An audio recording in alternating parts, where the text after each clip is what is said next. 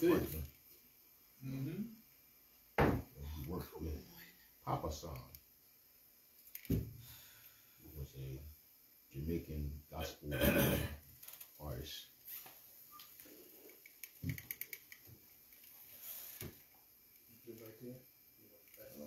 It's gotta go forward. There you go. That works.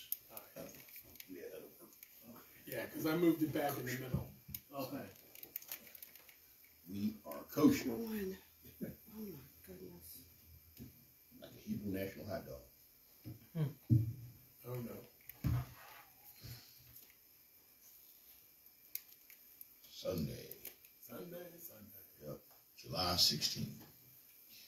Um, first, just a couple quick announcements here. One is October 15th is a tentative date. I've been given, I had a conversation last night with Apostle Shelley, uh, tentative date for my consecration to the office of apostle. Uh, and it will be at Holy Temple service. So once uh, I have more conversation with him about that and we actually confirm that date, then I will get the information out to everyone else. Um, on the trip to Africa, um, the original time frame that was set for October to November is not going to happen. Uh, reason being that not enough people signed up to go on the trip. So um, that couldn't happen. So we have a way around that. And the way around that is the date will be in February um, Next with year. another group.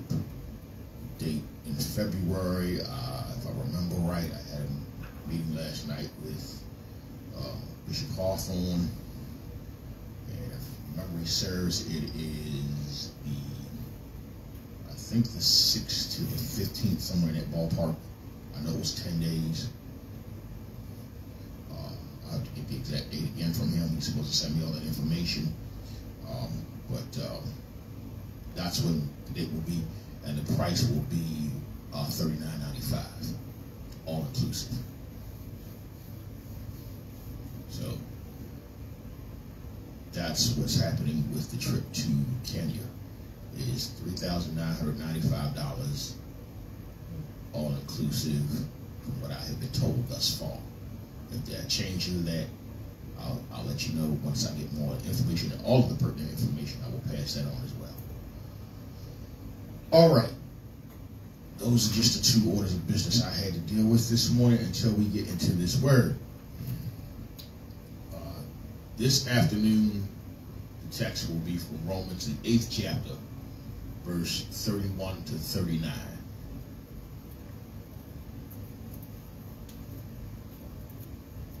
Romans chapter 8, verses 31 to 39.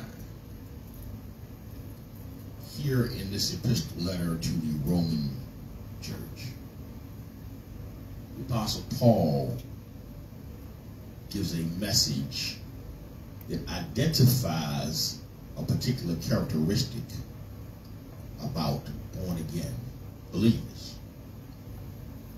He writes this way out of the Amplified What then shall we say to all this? If God is for us, who can be against us? Who can be our foe if God is on our side? He who did not withhold or spare even his own son, but gave him up for us all, will he not with him freely and graciously give us all other things? Who shall bring any charge against God's elect when it is God who justifies, that is, who puts us in right relations to himself, who shall come forward and accuse or impeach those who God has chosen? Will God, who acquits us, who is there to condemn us? Will Christ Jesus, the Messiah, who died, or rather who was raised from the dead, who is at the right hand of God, actually pleading as he intercedes for us? Who shall ever separate us from Christ's love? Shall suffering and affliction and tribulation, or calamity and distress, or persecution or hunger, or destitution or peril or sword. Even as it is written, For thy sake we are put to death all the day long. We are regarded and counted as sheep for the slaughter. Yet amid all these things, we are more than conquerors and gain a surpassing victory through him who loved us. For I am persuaded beyond doubt, am sure that neither death nor life, nor angels nor principalities, nor things impending and threatening, nor things to come, nor powers, nor height nor depth, nor anything else in all creation will be able to separate us from the love of God which is in Christ Jesus our Lord. Brother, the Lord has blessed this afternoon. I want Yes. to use this text and extract from it a topic. The topic being indestructible. Indestructible. Lord, as I once again your servant who comes this day before you, humbled in your presence, asking for your mercy and forgiveness in the name of Jesus. Those things that you find within me that are displeasing to you, I ask that you remove them, wash me, cleanse me, and purify me, that I might be fit and worthy for this your service. Now, God, use this vessel submitted unto your will, God, that it might speak these words to your people, that they would receive from it all that you desire for them. And it is in the name of your Son, Jesus, that I pray. Saying amen. Amen. Indestructible. What does indestructible actually mean? The word itself, indestructible. A textbook definition of that word would be something that cannot be destroyed, something that cannot be rendered useless, unfit, cannot be removed from existence. Indestructible. There is a thing that exists that is absolutely indestructible in physics. That thing being energy. In physics, there's a law called the law of the conservation of energy, which says that energy can never be created nor destroyed. That it can only take another form. That's within a closed system. I submit to you that we live in a closed system. That's right. Amen. See, gre- God created the universe as a closed system, complete, which means nothing is added to it and nothing is taken from it. Things within it only change their form. I'm going somewhere with this. Things only change their form. They are never, at least in God, never destroyed. The only thing that's ever destroyed is anything that God wills to destroy of his own hand. Mm-hmm. The only thing that's added is anything that God ever adds of his own hand.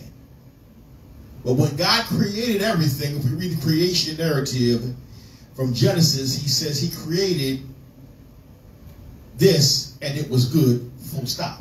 That's right. Yeah. So he created the heavens and the earth and said that it was good, full stop. He created the grass and the plants and it was good, full stop. He created all the creeping things and the things that swam in the oceans and the things that crept under the earth and the beasts that of the field, full stop, and it was good, right? Amen. Yeah. And then he created us, and then he said, very good, full stop. Nothing added to it, nothing removed from it, because it was complete as God had designed it at creation. That's right. Yes. So we live in a closed system. Thank you, Lord. What happens with us along the way through life and life's trials and tribulations and traumas, we began to develop this belief that the system is not closed, that things can be removed or added to it, and that primarily things can be removed from it because we, as we go through life, the things that we own age and we replace them and we age and things begin to happen to our bodies. I speak for myself when I say I have aged and things do not function as they did, say, just 20 years ago. Uh-huh. And so when those things happen, when the, the aches and the pains come and well, the, the, the, the, the visitor comes to my house and I call the itis twins, Burr and Arth. Burr and Arthur. I know those twins, bursitis and arthritis, the itis twins. Yeah, those things come visit me quite regularly now at this age. Hmm.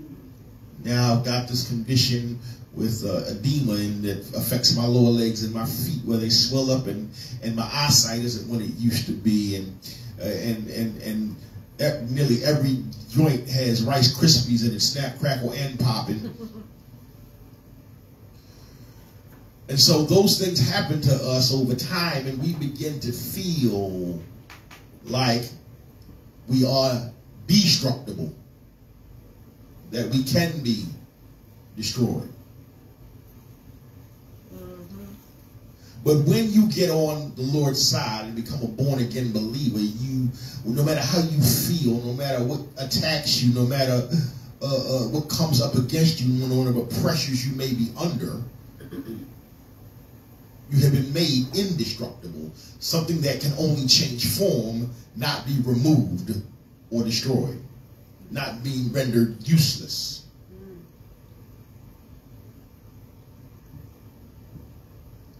Because when we read the Word of God, we understand that though this flesh is finite, we yet have a portion of us that has a home with God in eternity. Amen. Therefore, anything that is eternal cannot be destroyed. It must be indestructible.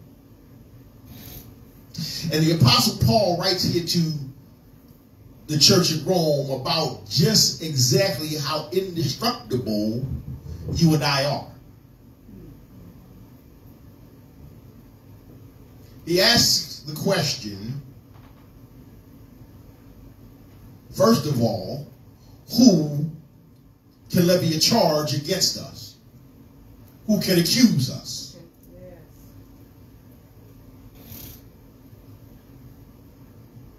He says, if God is for us, who are our enemies? Right. Yeah. Who can they even be?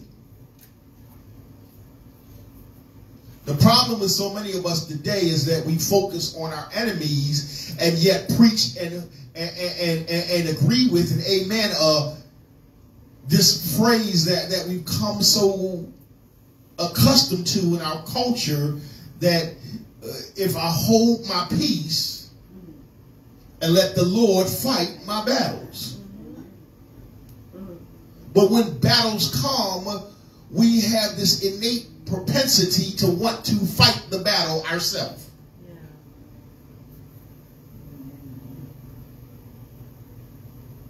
We, we, we, we want to push back and speak back, and it's like, uh, and sometimes it reminds me of a cartoon character from a childhood. Every time somebody would put him up, put him up,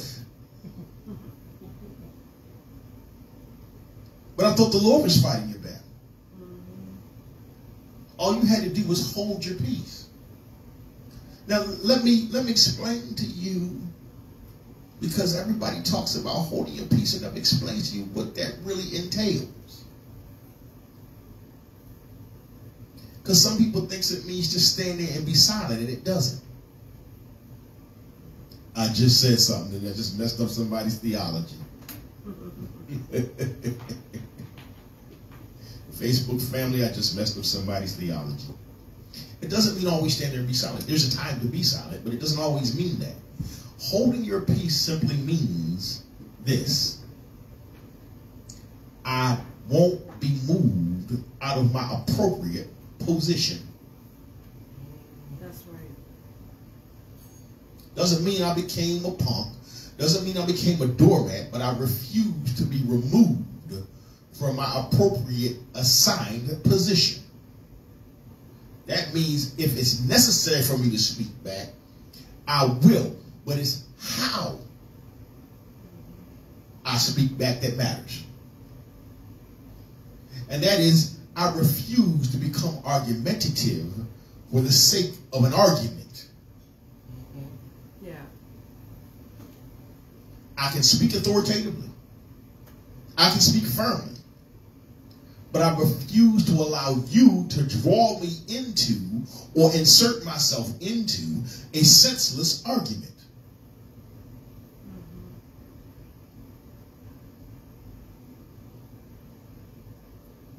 That's what holding your peace is. And when you let the and then when you add let the Lord fight my battle, we know this from the Bible, but we rarely pay attention to it.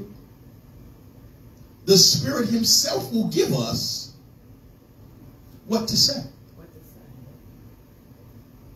if we have to speak at all.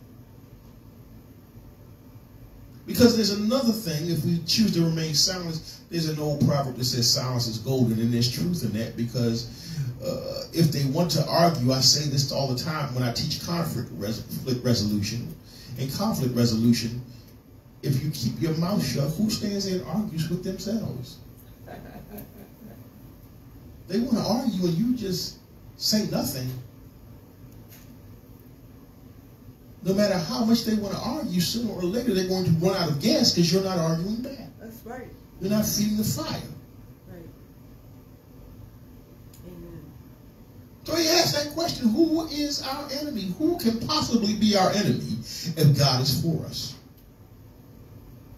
Who can bring a charge against us? And he even piles on, he says, Will God himself charge us? The one that makes us right? Will Jesus, the one that God crucified for us, will he charge us? The one he crucified to make us be right with him, will he charge us? And both questions have an obvious answer of no. So then he adds on and he says, well, we, we have sufferings and afflictions, and we have trials and tribulations, and we have traumas, and we have calamities and persecutions and hungers and destitution and peril and warfare and all sorts of dangers, seen and unseen, and powers and principalities. And will any of that remove us? Separate us, distance us from the one thing that makes us indestructible, which is the love of God through Christ Jesus. Will any of those things be able to separate us from the very thing that has caused us as believers to be indestructible? Now, that's a question that you have to answer for yourself because I say this to get to this point. Your indestructibility is directly correlated to your connectivity.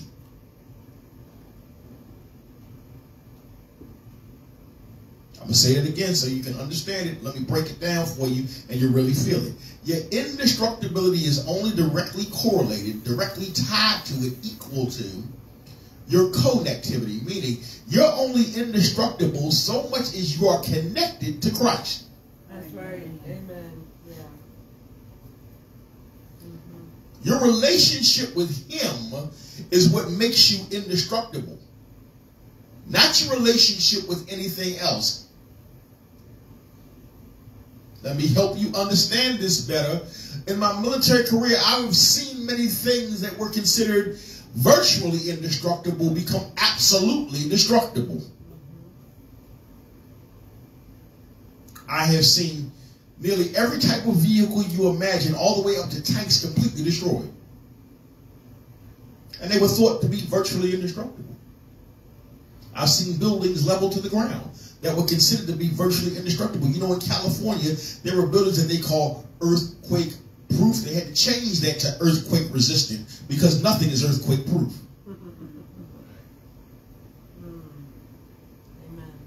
You've all heard of these things probably somewhere along the way. A bulletproof vest or bulletproof glass or bulletproof armor for vehicles and such. And let me help you out. Nothing is absolutely bulletproof. That's. They are bullet resistant is the, actual correct nomenclature for them. Bullet resistant because a large enough round with a large enough charge behind it will penetrate the armor. So you walk around with a vest on thinking I'm bulletproof. If I hit you with a high enough caliber round, it's no longer bulletproof. Don't believe me, do the research for yourself. They're only bullet resistant. Even the glass, they call bulletproof glass. No, it's not. It's bullet resistant. If I hit the same spot enough times with a round, or I hit the spot with a high enough caliber round, that glass is useless. It can be destroyed. It can be rendered useless and ineffective. But the one thing that will never be made useless or ineffective is the Spirit of God. God Himself cannot be rendered useless or ineffective. It's the love of God through Christ Jesus that makes you indestructible. Now, let's go back to the, the, the law of the conservation of energy, because here's what, what, what, what atheistic physicists don't want to acknowledge. They love the law of the conservation of energy. That the first law of the conservation of energy is that energy can neither be created nor destroyed. The first law of God, hello, I'm going somewhere with you down here. The first law of God is that He can neither be created nor destroyed. That's right. Amen. Yes. God is self-created and self-sustained. And there is no end to him, so he cannot be destroyed. That's right. Amen. He is the first and the last. He is the beginning and the end. He is the Alpha and the Omega. Yes. And he knows the end from the beginning. Yes, he does.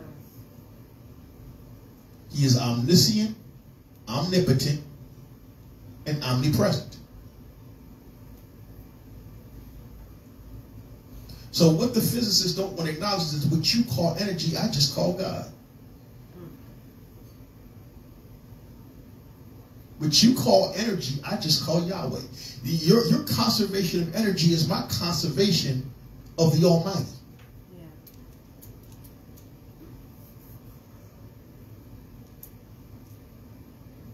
But they few, refuse to see the parallel in that. It must be what they say it is. But if they would ever serious take a serious look at this this text, this, this book, wait a minute, this whole conservation of energy thing, 2,000 years ago, more than 2,000, 6,000 years ago, let's go there, almost 6,000 years ago, before they had any knowledge of physics, they had this God that couldn't be created or destroyed.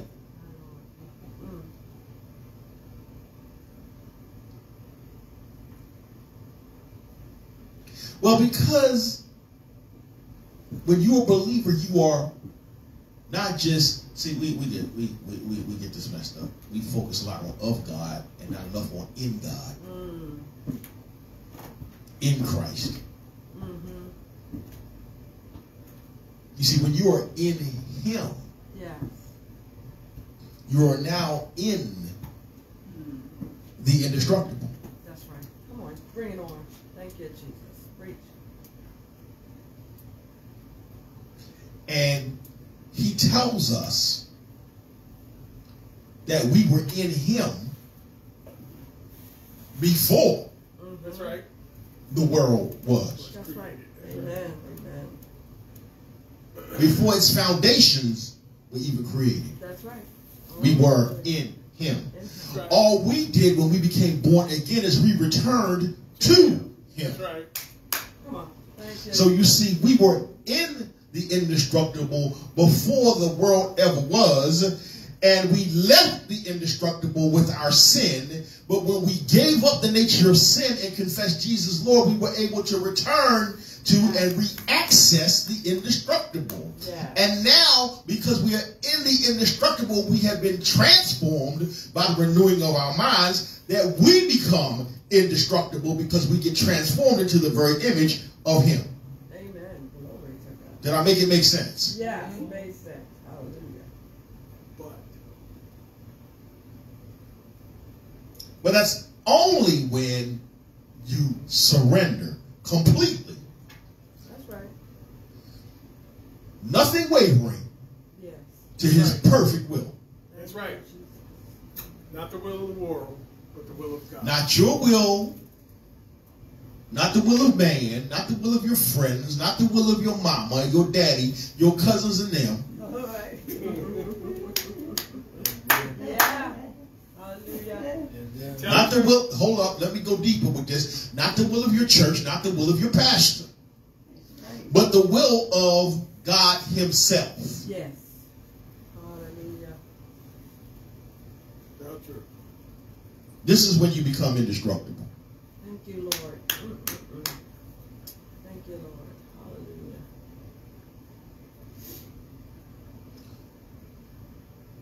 What the Apostle Paul does is draws us this illustration to show that once we submit to and surrender to the will of God, it is through the love of God, which is through You can't. Oh, hold on. Let me let me pause there and, and turn the corner because you can't just have the love of God without having Christ. That's right. There you go. That's it. Because it says that the love of God is dispensed to you through the vehicle of Christ Jesus. Yes. Amen. Thank you, Lord. Okay? I read it again. It says the love of God that is which is in Christ Jesus our Lord.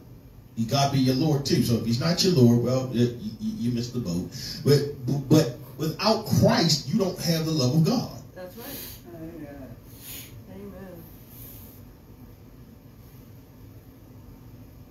And he the list he runs down. Do you realize that at some point in your life, you either have or will experience one of these things?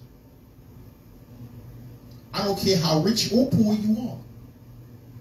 You either have experienced one or you have yet to experience one and will experience one of these things. List again.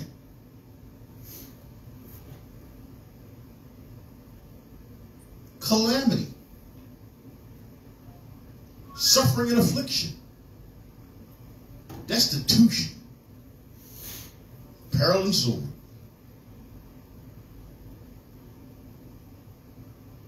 He says, not even death itself. As long as you are in him, none of that can change the fact that you have been made indestructible.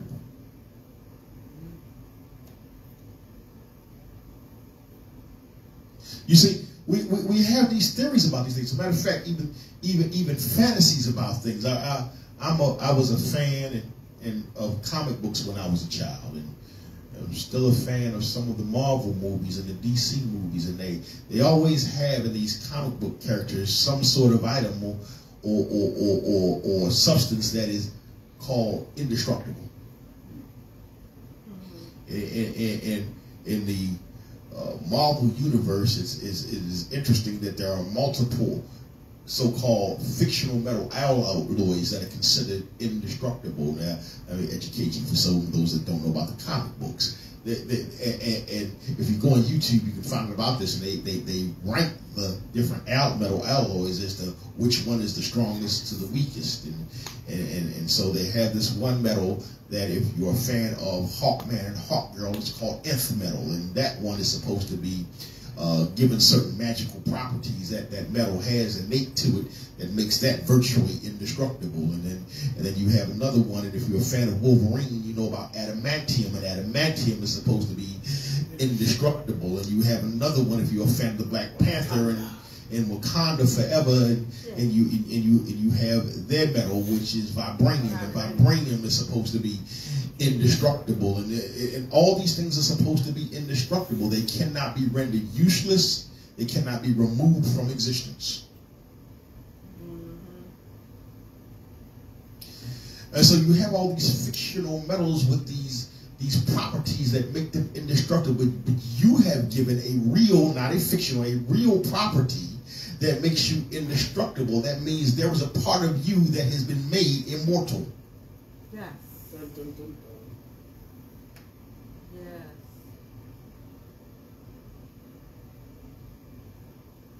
One of Paul's epistles, he writes that these, there's a time where this corruptible must put on incorruption and that Yes. this mortal must put on immortality. That's right. Yes. Hallelujah. Thank you, Lord. Because in a moment, in a twinkling of an eye, we shall all be changed. That's all. right. Not some. Uh-oh, I just, oh, Come somebody, on. somebody, somebody got their toe hurt. someone's theology. Somebody got their toe hurt. oh, glory to God. Hallelujah. We shall all be changed. Mm-hmm.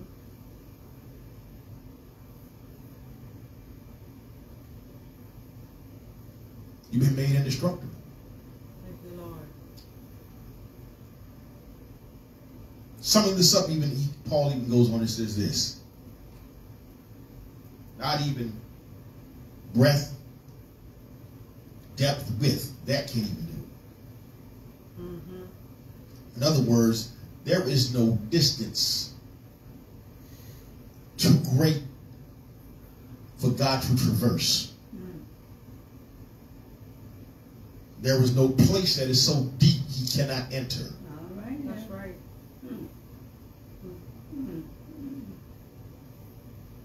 There is nothing so wide of an obstacle that becomes insurmountable to God.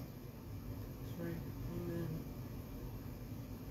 Because his love reaches you no matter where you are. Mm-hmm. All right. That's right. Oh, thank you. Thank you, Lord.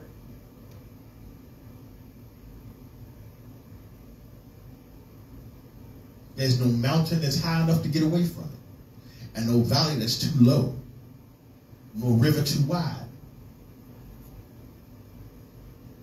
You can't get away from the love of God.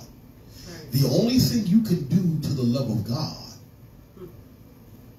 is accept it or reject it. That's the only thing you can do with it. You can't escape it though. Because even when you reject his love, he's still going to love you. That's right. Amen.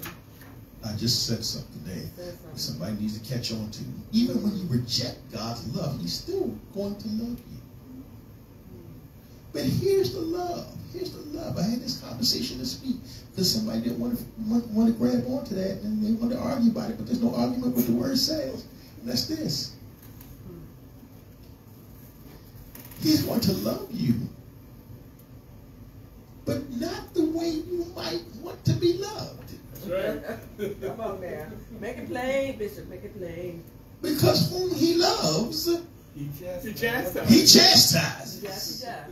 Oh, oh. Yeah. Who God loves, he corrects, he whoops, he, he disciplines. Mm-hmm.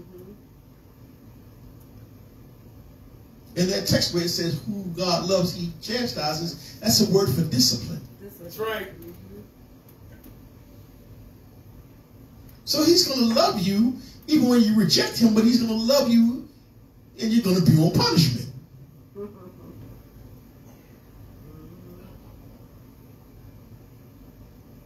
And I don't know about you, but I remember my parents when I was young, they put me on punishment and I didn't like it, but they didn't stop loving me. That's true. My two sons, when they were young and they disbeha- misbehaved, they, they they went on punishment and they didn't like it, but I didn't stop loving them. Nope. Right. Anybody who's raised children knows that without discipline, they run amok, right? They sure do. They run roughshod over the place and act crazy, and then you crying because you got to find bail money and or you got to find money for the funeral service. Am, am I talking right? Y'all can tell me the truth. Mm-hmm. But if you discipline them, even though they don't like it, you know that you're prolonging their existence, right? Mm-hmm. Well, God loves you so much that He will put you on punishment so that you will have the opportunity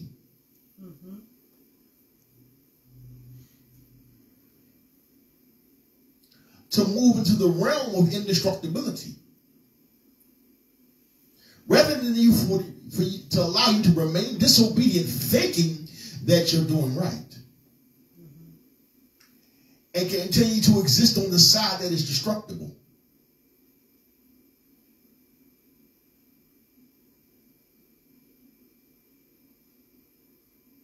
So again, you you you you can be disciplined, and hopefully at some point you will get it Mm-hmm.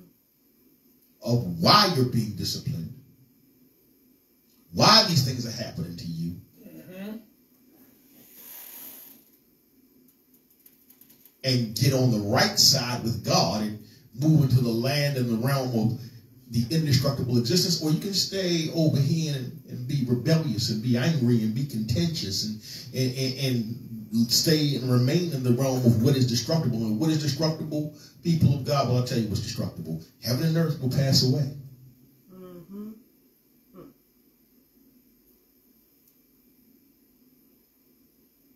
We know this is in the Bible. Heaven and earth will pass away. It was read in our text today that the, the very elements themselves will melt with fervent heat. It was read read, read in our scripture reading today, right? Yes. It'll melt. The elements will melt with fervent heat. How hot is that?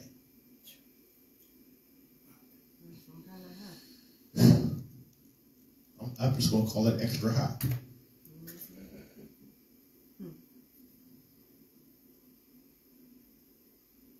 So heaven and earth will pass away, but God and His Word is what will remain. That's right.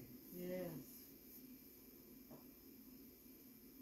God and His Word are what is indestructible, cannot be rendered useless, cannot be removed from existence, cannot be made ineffective.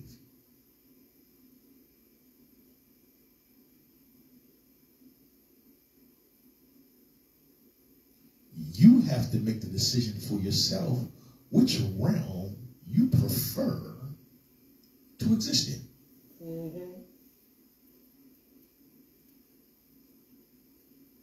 As for me, I choose indestructible. I, I just like the idea of just being my silly self. I like the idea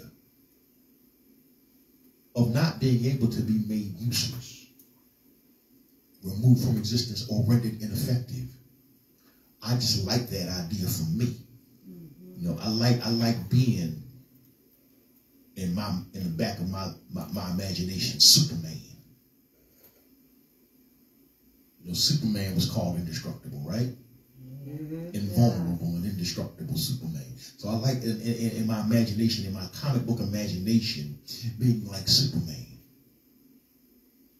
But not because I'm from Krypton, but because I'm from God. Yes. Not because I'm from a fictional planet, but because I am from the Almighty Creator. And not just from Him, but I'm in Him.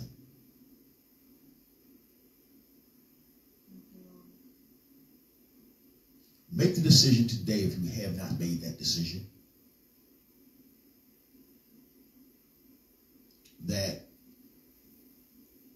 you can continue to, to, to live life according to your own choosing, according to your own will and your own whim. You can you you can do that if you want to. And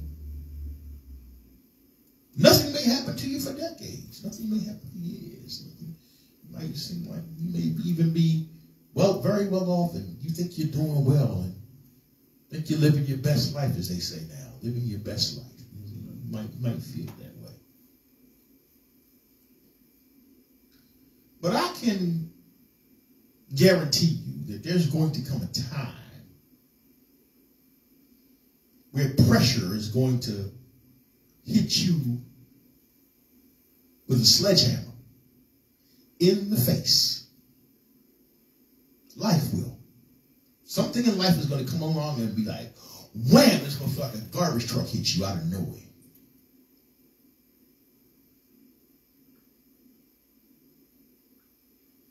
And you are going to wonder for the life of you where your help is.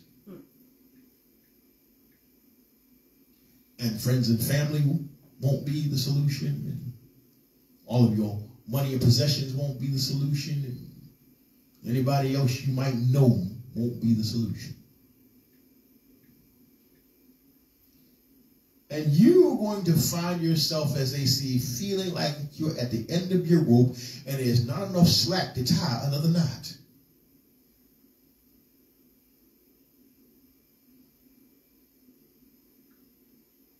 Or you can get on God's side. Confess your life and your will. Surrender it all to Jesus as your Lord and Savior. And when the garbage truck of life comes and slams into you, I'm not going to tell you to just bounce off because it won't. It's still going to hurt. And when you find yourself at the end of that rope and there's no slack to tie a knot, guess what? Don't worry. You won't have to worry about the knot or the rope. Because what you didn't notice until at that moment that you began to descend, that there was a safety net called Jesus waiting right there to catch you. He won't let you fall to the point of destruction. That's right.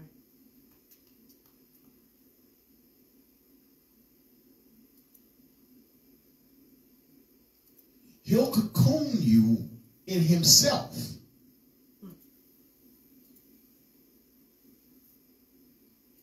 Where though you may feel the pressure,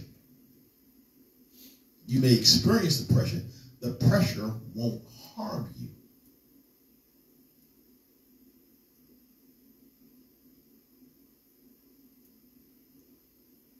So if you, again, if you have not made that decision, make the choice today and make, make, make it today and make it soon.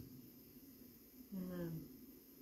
If you have not. For those that may be watching live, if you have not made that decision, you can today.